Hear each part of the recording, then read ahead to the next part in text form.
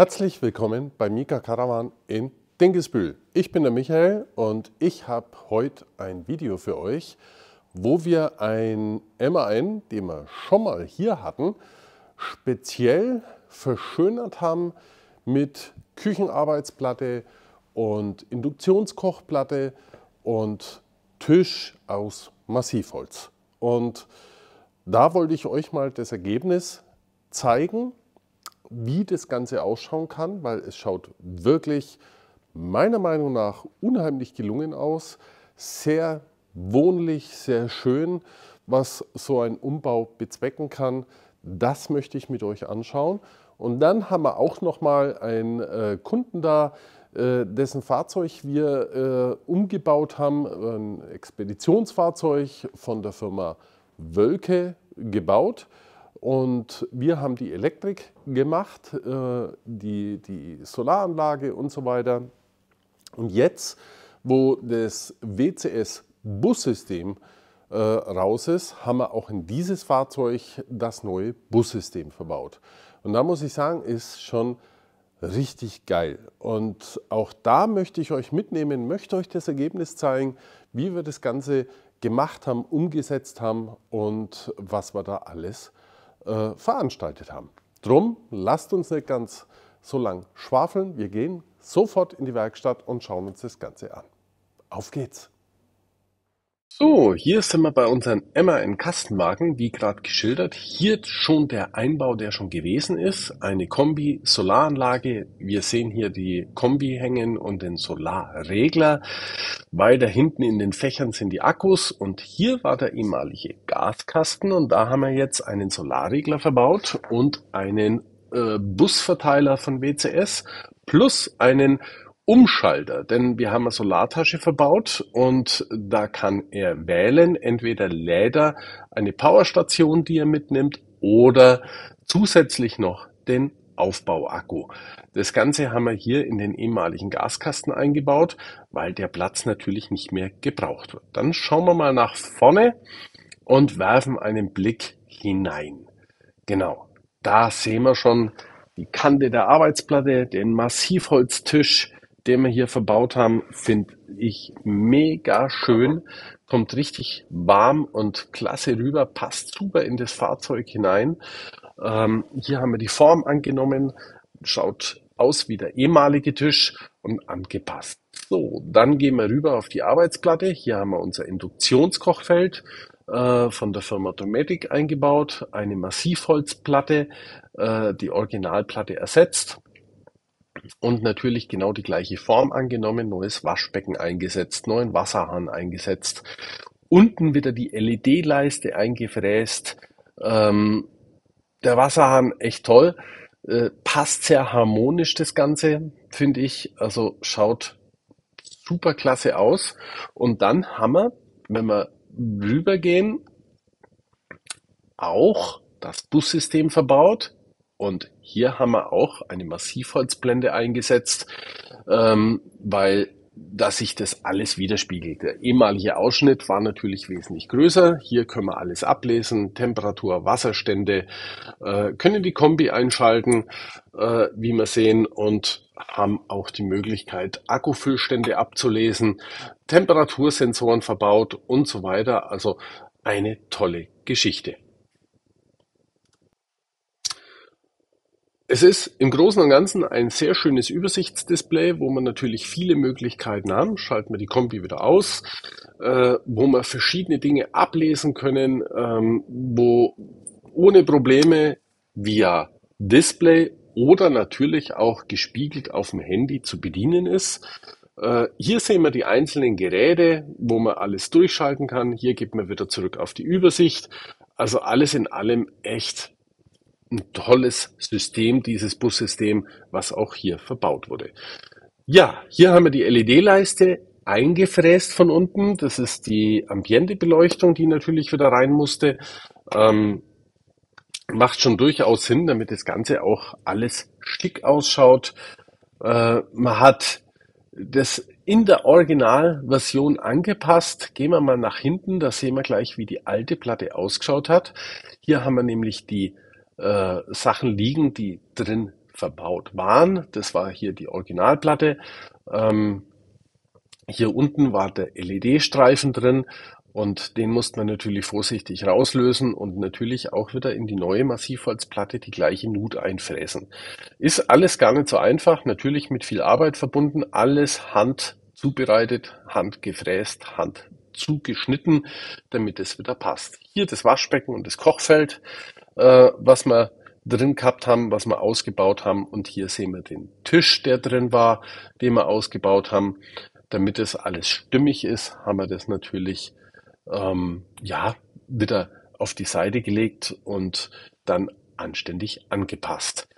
Äh, der Kunde hat sich hier nur einen großen Auszug eingebaut, damit er alles, was da drin ist, auch nach vorne ziehen kann. Auch eine gute Lösung. Gefällt mir wirklich sehr, sehr gut. Jeden Platz ausgenutzt. Unser Jochen macht es schon richtig gut und ich muss wirklich sagen, also im, im Detail, ich nenne ihn einfach mal unseren Schreinermeister. Äh, jede Rundung, die Kanten sauber gebrochen, die Radien, alles freihand muss man sich vorstellen. Also das ist schon eine tolle, tolle Leistung. Ähm, auch den Tischansatz wieder angefertigt, damit er dazu passt. Und wenn man so in das Gesamte reinguckt und sich den Überblick gönnt, äh, muss ich schon wirklich sagen, wow, schaut schon verdammt sexy aus. Also ich finde es sehr gelungen. So, nun gehen wir zu unserem Expeditionsfahrzeug. Iveco ist das Fahrgestell, der Aufbau von der Firma Wölke. Ähm, das Fahrzeug kennt er bereits, es war schon mal da. Äh, wir haben hier schon mal 2 mal 320 Lithium, zwei Ladebooster, Wechselrichter und so weiter montiert. Und heute bekommt er die Erweiterung, äh, und zwar Bussystem, hier zum Beispiel ein Lüfter, das ist das Fach, wo der Ruder drin sitzt und auch der Starling-Anschluss drin ist. Auch die Starling-Antenne haben wir aufs Dach gebaut und verkabelt. Und hier sehen wir dann noch den PC-Lüfter dazu, den haben wir eingebaut, weil wenn Wärme entsteht, damit das Ganze abgeführt werden kann. Auch hier in dem Fach sehen wir unten unseren Verteiler drin.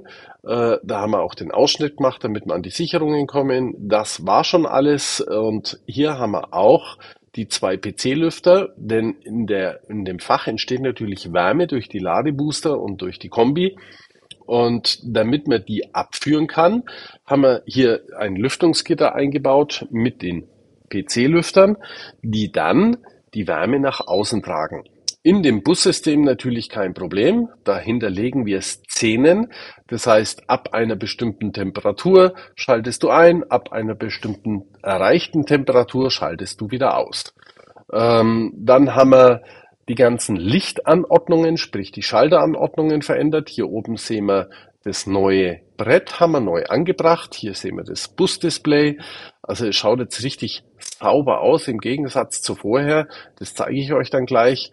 Hier drin haben wir auch nochmal Blende mit zwei Schaltern, damit es alles sauber und ordentlich ähm, ja, verkabelt ist und sauber und ordentlich geregelt ist. Da haben wir unseren Kasten, der war ja schon montiert. Wir haben ihn nur ein bisschen verfeinert, haben unser Bussystem da reingesetzt. Ähm, die Kombi da hinten äh, kriegt nach oben auch Luft. Da haben wir auch noch äh, Löcher dafür vorgesehen. Also das ist alles in allem schon ein wunderschönes Fahrzeug. Muss man ganz klar sagen. Also ich persönlich finde es sehr, sehr schön. Ähm, kann man nicht meckern.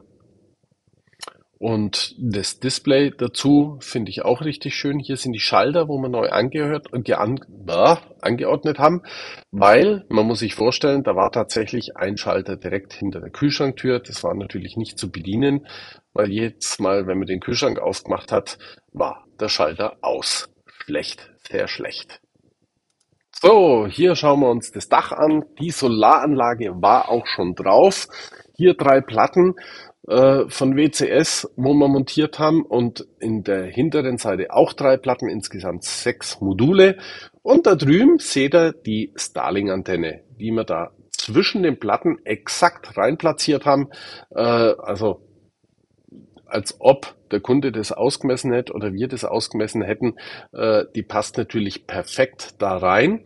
Ich muss ganz ehrlich sagen, Erfahrungswerte von der Starling habe ich persönlich nicht, aber da gibt es ja genügend YouTube-Videos, wo man schon draußen sehen kann.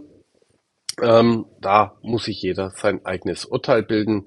Ich habe den Kunden gebeten, dass er mir auch mal ein kleines Feedback gibt, wie es sich so antut. Hier sehen wir jetzt noch einmal die Mika-Verteiler im Detail. Da haben wir unsere ganzen Anschlüsse. Äh, das ist von der Firma Wölke, das ist nicht von uns. Hier haben wir unsere Batterien verbaut, wo wir extra einen Batteriehalter montiert haben, äh, damit die entsprechend sauber sitzen. Da haben wir die zwei PC-Lüfter, PC-Lüfter nochmal, die wir übers Bussystem sauber ansteuern. Ähm, ist natürlich insgesamt schon eine tolle Sache. Hier haben wir die zwei Solarregler von der ganzen Anlage. Auch das ist eine tolle Geschichte. Ähm, so alles in allem schon toll. Hier war das ehemalige Brett über der Tür und ihr seht, hier wo mein Daumen ist, unten, genau da, wo ich jetzt hindeute, ist natürlich äh, der Ausschnitt von Schalter, das war der Kühlschrankschalter. Wenn man die Tür aufgemacht hat, war schlichtweg der Schalter ausgeschalten. Also der war ziemlich äh, ja, ungünstig platziert. Das haben wir verändert und haben das Ganze eben neu angeordnet, damit der Kunde da besser zurechtkommt und das auch nicht mehr passiert, dass man mit der Kühlschranktür ausschalten kann. Die vier Schalter steuern den Bewegungsmelder und die Umfeldbeleuchtung. Die kann man hier ein- und ausschalten. Äh, das ist überhaupt kein Problem. Dann haben wir natürlich noch unser Truma-Display und unser WCS-Display äh, vom Bussystem da sauber angeordnet. Jetzt schaut das Ganze ein bisschen clean aus, finde ich. Und ähm, ja, was soll ich sagen? Einfach clean, ordentlich, wo man entsprechend einen sauberen Überblick hat. Und ich persönlich finde es sehr schön und schaut optisch auch sehr ansprechend aus. Und jetzt schauen wir mal, wie der Kunde damit zurechtkommt. Ja, hier haben wir das Bullauge, was mir sehr gut gefällt an dem Fahrzeug, muss man ganz echt sagen. Dann haben wir hier die Umfeldbeleuchtung mit Bewegungsmelder, äh, wo von innen geschalten wird. Dann schauen wir nochmal nach vorne an das Fahrzeug, weil der Kunde lässt sich vorne in der Front natürlich noch einen Bullfänger verbauen.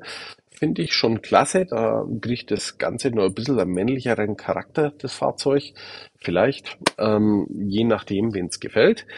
Und innen drin werden wir auch noch eine Kleinigkeit verändern. Äh, da machen wir noch einen weiteren Termin, weil da sitzen hier rechts drei Schalter ähm, für die Tanköffnungen und so weiter. Die finde ich hier ungünstig, der Kunde auch. Und dann setzen wir die da oben hin äh, über das äh, Licht hier in die Kabine. Da ist eine kleine Schalltafel, da setzen wir die mit rein. Und dann ist das alles schick. Ähm, alles in allem ein echt schönes, gelungenes Fahrzeug, ein tolles Projekt, was wir da gemacht haben. Ähm, ich finde, es ist gelungen und schaut richtig klasse aus und der Kunde hat unheimlich viel Spaß damit. So, ich hoffe, das Video war interessant für euch, war gut. Ich möchte mich bei euch bedanken fürs Schauen dieses Videos. Ähm, das Bussystem birgt noch viele, viele Möglichkeiten. Da wird es auch noch etliche einzelne Videos dazu geben, ähm, was man hier alles anschließen kann, was man hier alles treiben kann, was man alles damit anstellen kann. Und das nächste Video wird ein sehr interessantes werden. Da geht es um Toiletten. 2024 Caravan Salon wurden viele Videos ausgestrahlt, gerade um das Thema Glissana und Folienverschweißertoiletten. Immer wieder wurde ich angesprochen, auch ich über, durch meine Videos, ähm, was denn mit dem Müll wäre und ob da keiner drüber nachdenken würde. Und dann gehen auch immer so Gerüchte rum von äh, Stellplatzbetreibern, verbieten einen den Müll zu entsorgen und ganz schlimm wird es bei Müllpressen und und, und, und, und, und, und Kosten und tralala. Und darum habe ich mir gedacht, halt, stopp. Ich möchte nicht in das gleiche Horn blasen, nur aus Vermutungen nach äh, Hörensagen raus, sondern ich lade die maßgeblichen Personen ein. Das ist Daniel Beller, der Chef von der Firma Glesana, genauso wie ein Stellplatzbetreiber von einem großen Stellplatz, der seine Meinung kundtun wird. Wenn alles klappt, äh, dann sind die auch hier. Und darüber werde ich dann ein Video machen, um auf die Thematiken einzeln mal einzugehen. Darauf könnt ihr euch freuen, wird sehr interessant. Also, ich sage ganz lieben Dank, wünsche euch ein wunderschönes, langes Wochenende und ich freue mich, wenn ihr wieder dabei seid. Über einen Daumen nach oben freue ich mich natürlich, wenn ihr ganz wild seid, über ein Abo. Äh, die kleine Motivation auch hier in diesem Umfang immer weiterzumachen. Äh, ich sage schon mal ganz lieben Dank und bleibt gesund und bis zum nächsten Video. Euer Micha. Ciao, ciao.